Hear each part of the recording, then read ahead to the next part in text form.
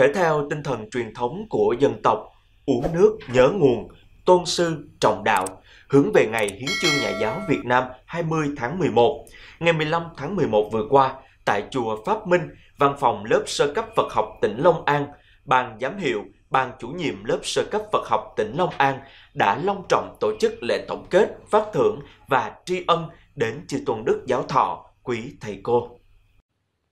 Buổi lễ được cung đón sự quan lâm của chư tôn đức giáo phẩm ban trị sự do Hội Phật giáo Việt Nam tỉnh Long An, Hòa thượng Thích Huệ Hồng, chứng minh ban trị sự do Hội Phật giáo Việt Nam tỉnh Long An, Thượng tọa Thích Quảng Tâm, Ủy viên Hội đồng trị sự, Phó ban thường trực ban trị sự do Hội Phật giáo Việt Nam tỉnh Long An, Đại đức Thích Lệ Trí, Ủy viên Hội đồng trị sự, Phó ban trị sự do Hội Phật giáo Việt Nam tỉnh Long An, Hiệu phó trường Trung cấp Phật học tỉnh Long An,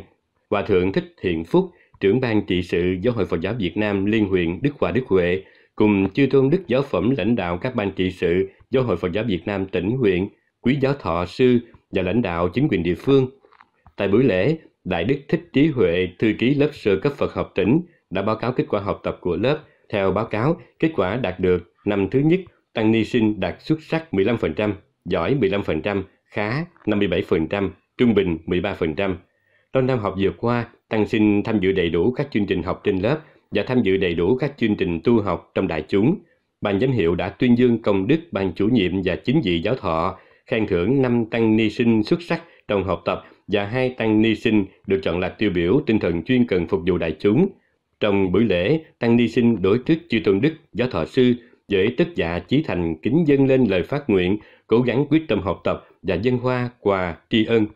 Đạo từ tại buổi lễ, Thượng tọa Thích Quảng Tâm thay mặt cho chư tôn hòa thượng chứng minh có lời nhắc nhở đến giới tăng ni sinh. Thượng tọa dạy là người học Phật phải luôn luôn tâm niệm, nghĩ nhớ đến tứ trọng ân, vì đó là nền tảng để phát sinh công đức.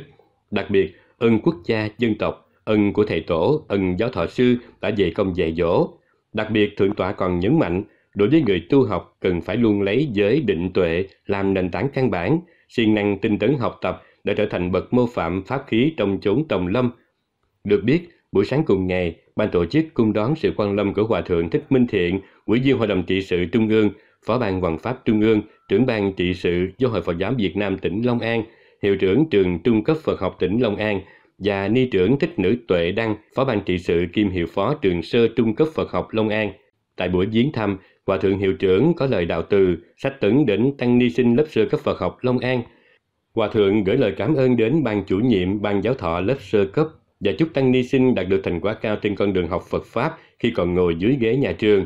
Hòa thượng nhắc các tăng ni tinh tấn tu học, học mọi lúc, mọi nơi và rèn luyện cho mình các kỹ năng cần thiết để sau này có tư lương, dẫn thân hành đạo.